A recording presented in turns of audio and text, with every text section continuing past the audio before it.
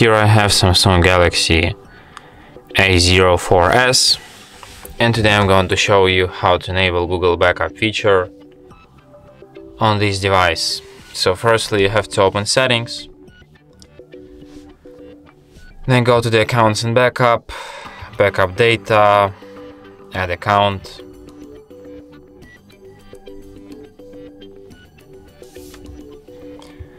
Here you have to enter your email or phone number. Tap next. Then you have to enter your password.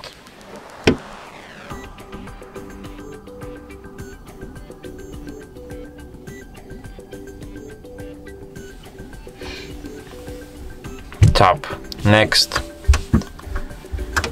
Then you have to select if you will be using this device or if your child will be using it.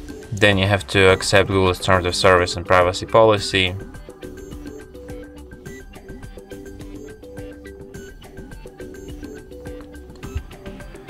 And then tap turn on.